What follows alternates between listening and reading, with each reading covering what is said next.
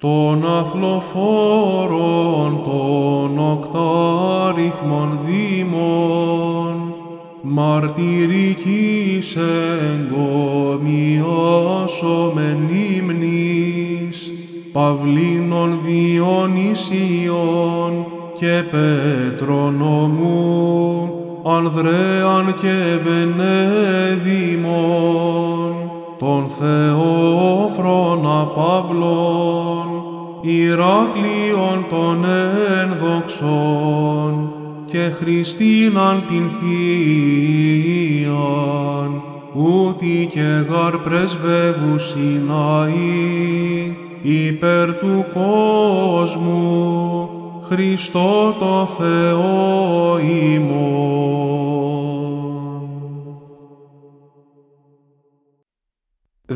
18 του μηνός Μαΐου Πέτρου, Διονυσίου, Χριστίνης της Παρθένου, Ανδρέου, Παύλου, Βενεδίμου, Παυλίνου και Ηρακλείου των μαρτύρων, Θεοδότου και Τεκούσης και επτά Παρθένων γυναικών, Εφρασίας μάρτυρος, Στεφάνου Πατριάρχου Κωνσταντινούπολεως, Ιουλιανού μάρτυρος, Θεοδόρου Πάπα Ρώμης, Μαρτινιανού Οσίου.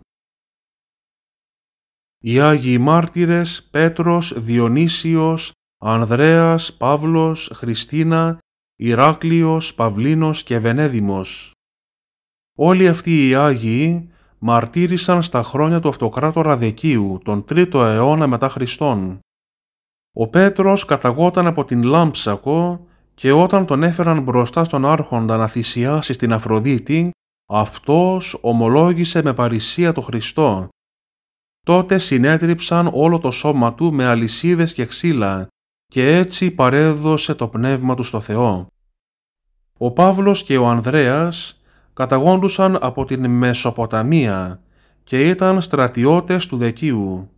Όταν πήγαν στην Αθήνα έγιναν χριστιανοί από τον Διονύσιο και τη Χριστίνα, για την οποία αρχικά είχαν εσχρά σχέδια. Και όλοι μαζί λιθοβολήθηκαν. Η δε Ηράκλειος, Παυλίνος και Βενέδημος ήταν από την Αθήνα. Εκεί έδιναν σκληρό αγώνα κατά της πλάνης των ειδόλων, καθώς και για των φιλοσόφων που πολεμούσαν την πίστη του Χριστού. Και επειδή εφυλάχθησαν αυλαβείς, τελικά τους αποκεφάλισαν. Οι οχτώ παρθένες μάρτυρες η Αναγκύρα, Τεκούσα, Αλεξανδρία, Κλαβδία, Φαϊνή, Εφρασία, Ματρώνα, Ιουλία και Θεοδότη. Κατάγονταν από την Άγκυρα της Μικράς Ασίας. Αφιερωμένες ολόψυχα στην υπηρεσία του Ευαγγελίου ήταν από τις μεγαλύτερες υπηρέτριες και αθλήτριες της χριστιανικής πίστεως. Προθυμότατες πάντοτε στα έργα του ελέους και της φιλανθρωπίας, συνεργάζονταν συγχρόνως στο να ελκύουν ειδωλολάτρισσες στους κόλπους της Εκκλησίας. Καταγγέλθηκαν για το έργο τους και αρνήθηκαν να θυσιάσουν στα είδωλα. Τότε παραδόθηκαν από τον άρχοντα της Αγκύρας Θεότεχνο στους στρατιώτες για να τις διαφθείρουν. Επειδή όμως χάρη του Θεού διαφυλάχθηκαν αγνές, όλες τις έπνιξαν στα βάθη της εκεί λίμνης.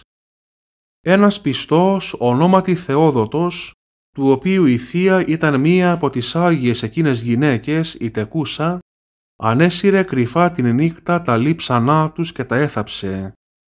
Τον ανακάλυψαν όμως και επειδή δεν θέλησε να αρνηθεί το Χριστό, τον αποκεφάλισαν ύστερα από πολλά βασανιστήρια.